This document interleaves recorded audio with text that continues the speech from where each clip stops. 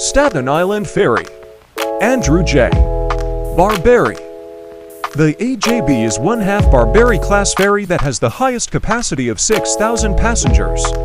It's the only ferry that does not carry cars.